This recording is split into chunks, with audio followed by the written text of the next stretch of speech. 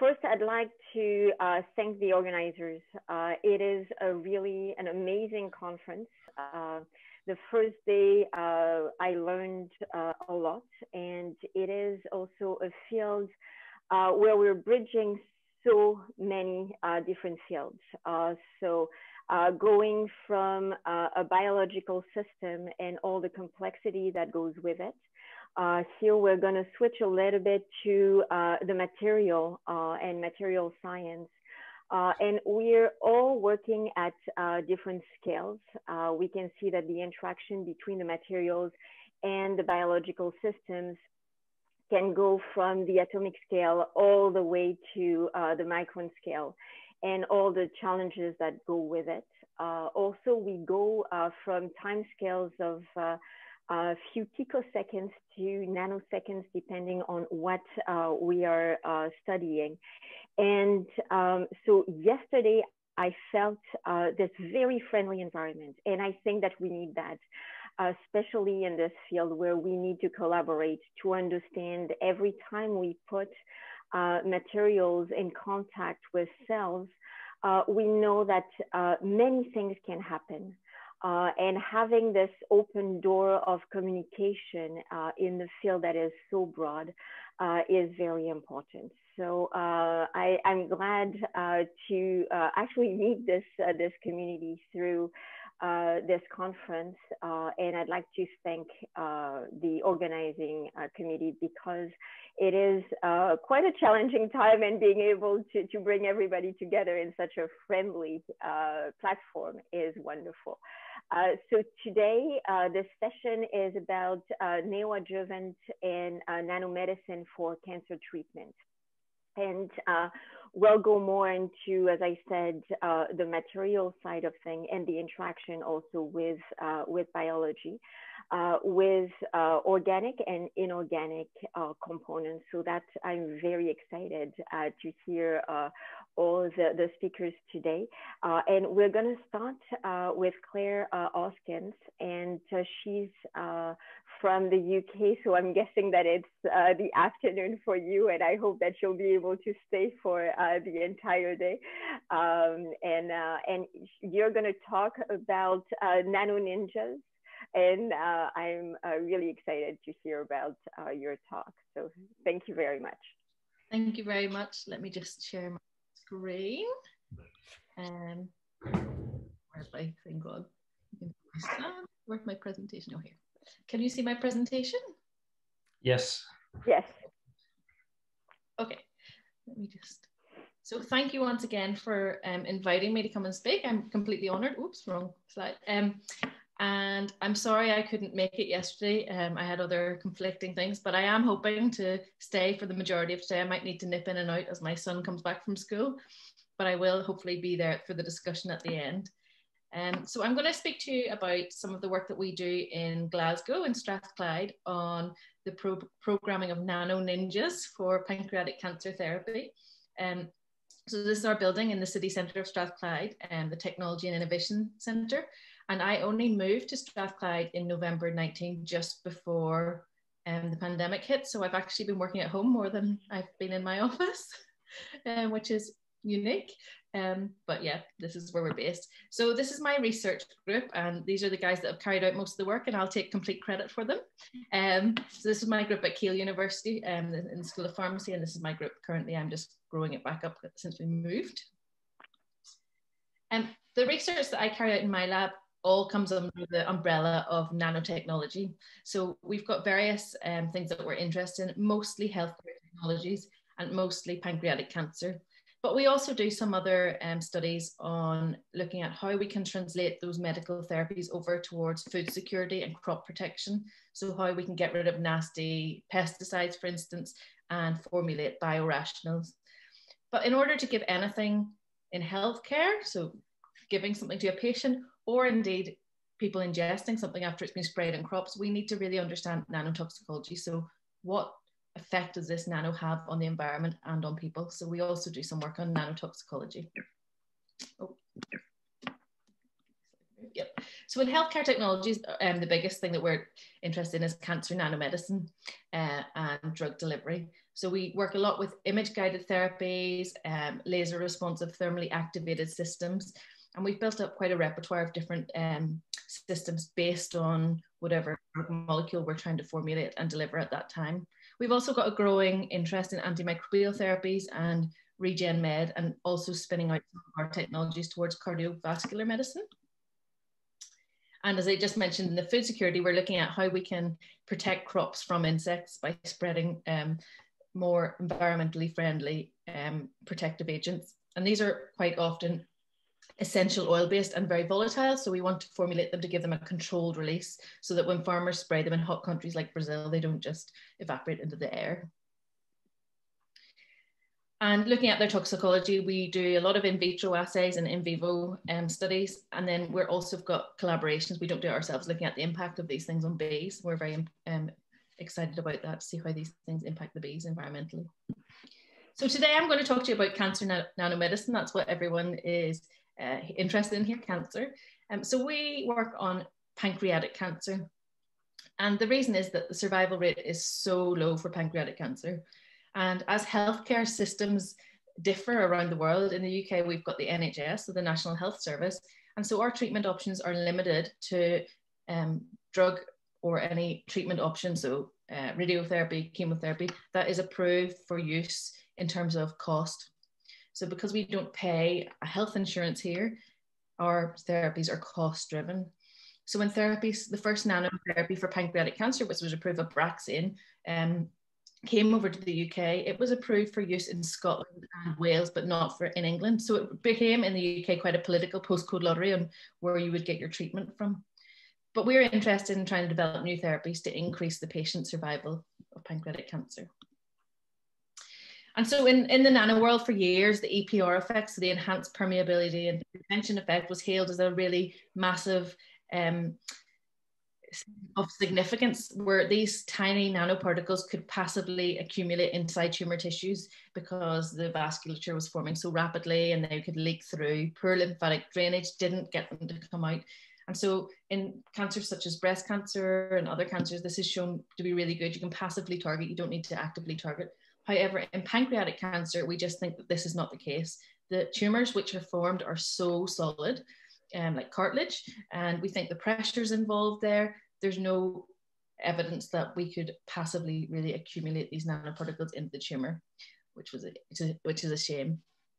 So this led me to develop some sort of targeting agent, and of course, this is a a, snapshot of our journey. We are absolutely not there yet, and we wanted to um, develop nano ninjas, so something which could carry their drug of choice um, to where it needed to be until they were activated, and then it would throw out, um, as a big surprise, it would throw out the drug molecule and then become active.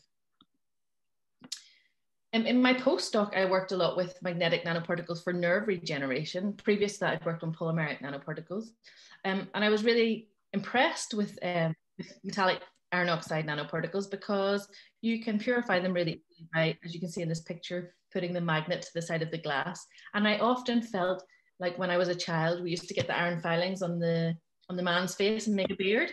So I often felt like I had never grown up, and um, I really liked working with them. We did quite a lot of work looking at their toxicity when I worked in the University of Dundee.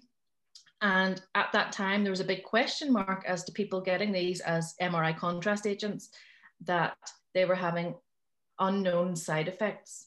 And at the time, I worked for a um, very famous surgeon, and he'd said that this could range from um, just small side effects to, in some cases, death. And so we tested quite extensively iron oxide coated with Feridex, or sorry, with Dextran, Feridex used clinically in the UK. And we found that the Dextran polymer that was um, coating it was probably not rigid enough and it was allowing leaching of these iron radicals coming out and probably that's what was causing these side effects and in 2011, the UK actually withdrew Feridex from use clinically um, in the UK, which was a shame because I really enjoyed working in iron oxide. So I thought, how could I use what I know from iron oxide, but make it safer? So I thought, well, if the dextran is too flexible because it's just a polymer, what about putting on a solid coating? Um, and some literature has shown that some people had tried to and um, coated these things with metal, other metals such as gold. So gold is biocompatible, chemically stable, and the unique property at the colloidal scale, so the nanoscale for gold, is it um, exhibits something called the surface plasmon resonance. And this is where you hit the gold with the laser of the right wavelength, and it will absorb the photons of light as well as scattering some of them. But in that absorption, it will heat up. So I thought, well, this is cool. We can use this contrast agent as an imaging component, and this other one as like a heat trigger for something else. So we set about making these in the lab. Um, so we're a chemistry lab. We um, we precipitated, uh, did a co-precipitation reaction to make the iron oxide, which had a bit of a negative surface charge because of the sulfate association in the reaction. And we then put on a PEI, so polyethyleneimine coating, so a cationic polymer, just electrostatically stirred them together, uh, prosonicated them together, um, and that wrapped around the surface of this, and that formed then a positive coating, so it switched the coating to positive. We then electrostatically again attach these two nanometers, so tiny, tiny gold seeds onto the surface. And so electrostatically, they were a little, they have a little bit of a negativity. They sit on the surface of the particles. And then finally, we reduce the acidic gold onto the surface and form a good complete gold coating. Now, the reason that we don't try and get that gold straight onto the surface of the iron oxide is because quite often we find that when we were trying to do the reaction, we would have iron oxide nanoparticles and gold nanoparticles existing together, not coating. Um, but also some other reports have said that the uh, electrons from the gold may um, migrate in towards the iron oxide and hamper the magnetic ability. So we, it took a long time to get an established and repeatable reaction for this, um, but we got there. So this is a little cartoon showing you the different steps. So a1 is the iron oxide, then it's got PEI, and then you can see the bubbly surface here of the two nanometer gold seeds. And in high resolution TEM, you can just see that that surface is quite rough. And you can see the tiny um, metallic particle or gold nanoparticles in the surface. And then A4 is the completed gold hybrid nanoparticle.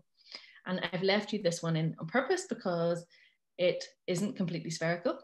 And that the reason I'm leaving this in is to show you that if we kept adding the gold, we could get various anchor points around that um, surface and we would actually end up forming um, gold stars, which do have their own um, advantages for other applications. So we sent these away to a clinical MRI um, to see did they indeed um, have contrastability. And yes, indeed, they rivaled Feridex. We, the, we got the same T2 contrast as Feridex did, so we're quite happy about that. And then the next thing we wanted to see was if we hit these with a laser, would they even heat up? So we hadn't tested this before. So we, in a quite crude experiment, used um, a tattoo laser removal system. So it was a 1064 pulse laser. Um, the surface plasmon resonance was not a 1064, it was a bit um, further down. However, um, the, the peak was quite broad. So we hit them with these lasers. These lasers are used already, so we know that they're safe to use. And indeed, we did see some heating. So you can see here in the gel, the lighter it is, the heater, heater hotter it is. Um, so that's in the laser hotspot there that you can see that white part.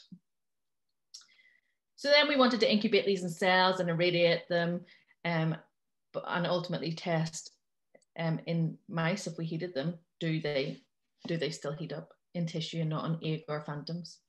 So this is a human pancreatic cancer xenograft. Um, we carried this out in a cadaver just in case anything happened, but we grew the cells and then culled and just injected the particles directly into the tumor. These uh, lasers of 1064, it's reported that they penetrate about two centimeters through tissue. So we were really interested to see, are we going to, are these going to heat up at all? Can we measure any heat from these? And you can see here, B1 to B3, that's the control. So no particles and there's been no heating. Whereas in C, you can see that the heating is um, occurring. So we are managing to get to the nanoparticles and they are heating. But what's quite important um, is looking at what kind of temperature change you can get and what's the temperature spread because of course you don't want to cook healthy tissue.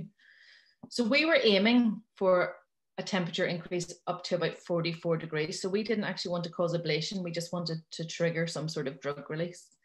So we were, we're seeing here that we can get about um, a 10 degrees temperature change at 50 micrograms per mil. And the temperature spread was going over about a centimeter each side of the um, tumor hot or the laser focal point. So we were we were pleased that we'd made what we thought would work, um, and then decided, okay, what are we going to do with these things? So there's a few various options. So type one was to use them as a heater, nano heater for cellular hypothermia.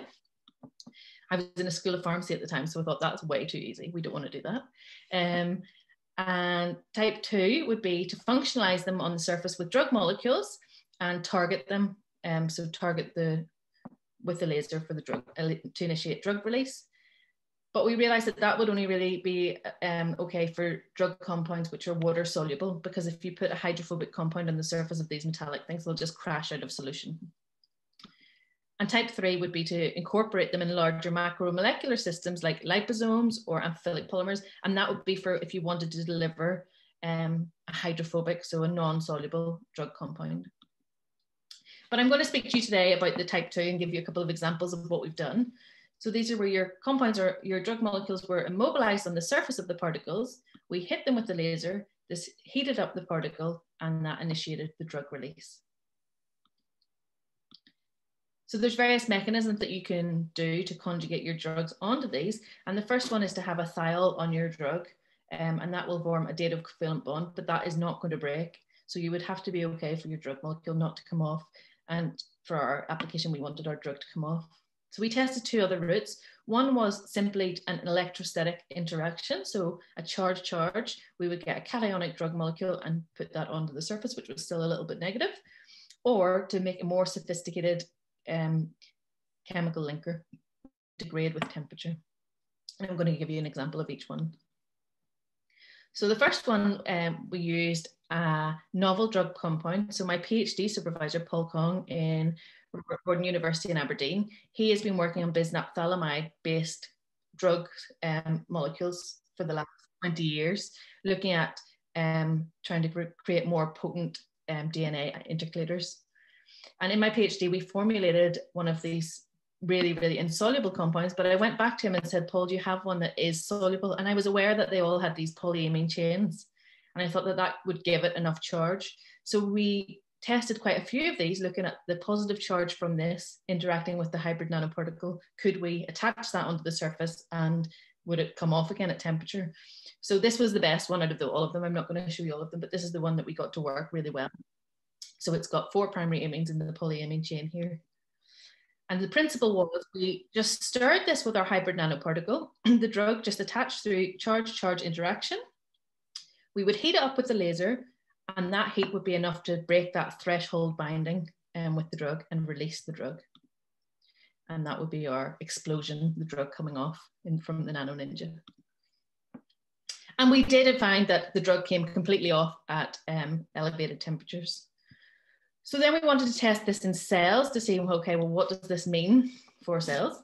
Um, and we put them into pancreatic cancer cell lines, so BXPC3 and PANC1, and we compared them to the free drug themselves. And what we found was consistently in the two cell lines that the nano formulation was a lot more toxic than the free drug. And we think that's probably because nanoparticles are going up via different mechanisms, such as endocytosis, um, whereas the other one's going through um, other processes which may be a little bit slower. And so that makes sense that there's more toxic more is going in, and we verified that with cellular uptake experiments for drug. We then differentiated U937 cells um, to mimic a um, human macrophage cell, um, and we got the reverse. And although this looks really good for us because our hybrid nanoparticle looks extremely safe in these cells compared to the free drug, I think this is definitely a false positive because once you um, differentiate U937, their proliferation rate is so slow that um, the uh, that the endocytosis may be occurring so slowly that it doesn't mimic anything. Um, so I would take that value there with a pinch of salt. But we wanted to then test if we heated these up, then what happens? So do they become more toxic when you heat them up and the drug comes off? And indeed, we saw in the pancreatic cancer cell lines that the IC50 was lower um, after they've been heated than just non-heated. So again, we're getting a more toxic um, formulation, and that's because the drug is not immobilized anymore and it's coming off. So that was quite exciting for us. We then wanted to put these into some sort of mouse model to test whether, okay, this is on a cell line. I'm quite skeptical about 2D culture for particularly nano things because gravity takes place. Does that um, encourage uptake, shall we say, or is does it mimic anything from real life? So we formed human pancreatic cancer um, xenograft models, and I'm aware that this is probably not the best model to use, but for proof of concept, um, it was the most humane one. So we grew the xenograft uh, tumors on the back flank of the mice. We then mimicked a gemcitabine regime. So we had one treatment per week for four weeks. And 24 hours after um, administration, we hit them with the laser for 20 seconds only. Now, I should say that we developed these for local injection. At this point, we were not targeting anything. We developed them for local injection and we did intratumoral injection, which is not easy in a pancreatic xenograft because it's like cartilage. Um, but yes, we looked for direct injection. And what we saw was that in the control, so with and without laser, um, these look similar. So that's saying that the heating, there's no heating effect in normal tissue from this laser. It's only when it hits the nanoparticle. So the laser is having no detrimental effect to tumor growth. And you can see here at day 21, the tumors um, the mice had to be culled because the tumor was meeting the humane limit in the UK. So we could no longer keep the mice alive, um, but they would have gone a lot bigger given another week. Also the hybrid nanoparticles, so ones with just the hybrid nanoparticle, no drug attached, they don't look that much different with the laser. So probably there's no effect there. You're heating, but it's not enough to kill. With the drug, of course, we are seeing a reduction in tumor size because we know that this is a potent drug molecule. But with and without laser, there's no difference um, at all. So again, the laser is not having any effect. And then when we look at the formulation, the formulation without laser activation looks similar to the drug itself. So maybe a little bit better, bigger, but not anything significant. So it's having the same potency as the drug itself. However, once we switch that laser on for 20 seconds, um, we're getting significant reduction in tumor volume. In, in many of the mice, there was no tumor left at all, but we always report um, the biggest one that was there. So we're really, really excited by that um, measurement and that this had um, reached proof of concept. So another study that we looked at, of course, when you send these things off for review, for funding applications, we always got the, this is a novel platform and this is a novel drug. And so, yeah, I totally agree. We thought, okay, let's do it with gemcitabine. So it was, it's one of the drugs used for pancreatic cancer, um, but we couldn't get it to attach electrostatically. So we came up with this chemically, um, chemical linker. So this is based on what's called the Diels-Alder reaction, where you've got a furan molecule which um, reacts with the maleimide. So, and when these come together, they couple, and when they heat, the, the, that reaction is reversed. So you get undergo the rever- retro reaction, and you will um, liberate this gemcitabine here in black, but it will always have this maleimide linker chain. So that's the small payoff for this method. You're, you're modifying the drug itself. But what we found was we got very good drug loading onto the surface. And indeed, when we heated it up, we got almost instantaneously um, drug came off. We got a little bit of drug coming off at 37, but like most of it just came off when it went to 44 degrees instantaneously. And again, we underwent the same studies. And here in the, the in, vivo, in vivo study showed us that we got a 56% tumor reduction compared to the, the gemcitabine normally. Um, when we had the laser activation. And so this study isn't doesn't look as impressive as the previous one because the tumor's still uh, prevalent, but it um, this is using a drug that's already clinically used and you know improving it just um, by delivering it better. And then in 2017, after we'd finished that study, we think, okay, we're maybe going to look at active targeting it to see if we can give it intravenously and where are we going to go next. But this paper came out in Science, which was really interesting to us. Um, and it was saying that there's a lot of intratumoral bacteria in colon and pancreatic cancers, and this is degrading gemcitabine before it can get to into the tumor cells. And that may be why only 27% of patients in pancreatic cancer studies under like have have an effect. So we thought, well, can we switch that? Um, can we switch that from gold to silver. So we started working looking at um, changing the surface from gold to silver, um, which wasn't an easy task and um, took us quite a while. Silver is notoriously more difficult to work with. But we have managed to form the silver hybrid nanoparticles. So you can see them here. This is the iron oxide, the silver seeds, and the, the silver coated particles. And we also have been able to show that the temperature will increase when we, from the same kind of surface plasma resonance with silver as it does with gold. Um, and we were worried that it wouldn't increase to the same extent, but it has increased um, to what we would need. So we're pretty happy with that. Um, and we just did some very brief studies to see whether these particles were antimicrobial because silver, the rationale for changing that surface to silver was because silver has an inherent antimicrobial nature. And we were showing that yes, the hybrid nanoparticles themselves have an antimicrobial nature. The gemcitabine itself doesn't, which we didn't expect it to, but once it's decorated, there is still that nature. So the rationale here is that we would kill that bacteria upon administration. Gemcitabine would then go about its merry way into the cells and have its effect. But this is an ongoing study and um, very early days. And um, right now we've got a student in the lab working on this, so we haven't got too far with it. So I think it's really important in science to talk about the limitations of your work as well as what's gone well. So we set out to make this Nano Ninja, which was a little bit stealth-like, not that toxic, until we told it to activate and with the laser. But actually, what we saw in those in vivo studies is that they had around the same toxicity as the drug molecule, the free drug.